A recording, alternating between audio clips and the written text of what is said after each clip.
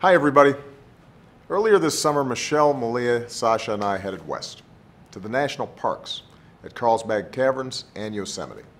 And I've got to say, it was a breath of fresh air.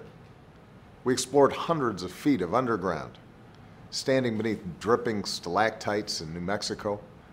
We hiked up a misty trail next to a waterfall in California. And I even took a few pictures of my own, which I thought were pretty good.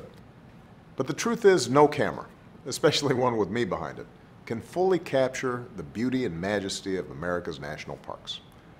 From Glacier and Denali to Gettysburg and Seneca Falls, our more than 400 parks and other sites capture our history and our sense of wonder.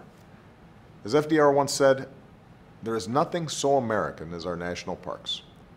The fundamental idea behind the parks is that the country belongs to the people. This month, we're celebrating the 100th anniversary of the National Park Service.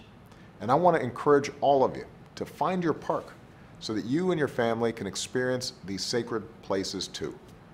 If you're a military family, you can even get in free through Michelle and Joe Biden's Joining Forces initiative.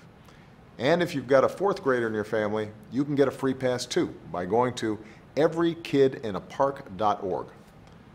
I hope you do because all across the country, the National Park Service is preparing for a big year. We're revitalizing a grove of giant sequoias in Yosemite, repairing the Lincoln Memorial, and enhancing the iconic entrance to our first national park at Yellowstone.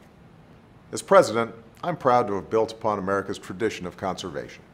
We've protected more than 265 million acres of public lands and waters, more than any administration in history. We've recovered endangered wildlife species and restored vulnerable ecosystems. We've designated new monuments to Cesar Chavez in California and Pullman Porters in Chicago, and the folks who stood up for equality at Stonewall in New York to better reflect the full history of our nation.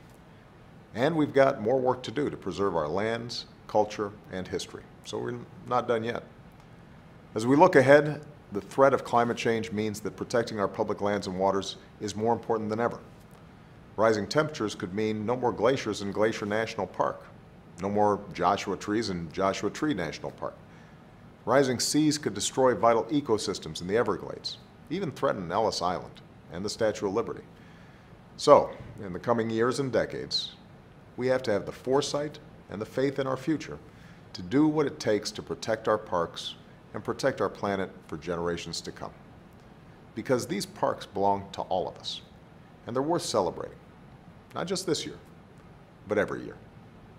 Thanks, everybody. Have a great weekend, and see you in the parks.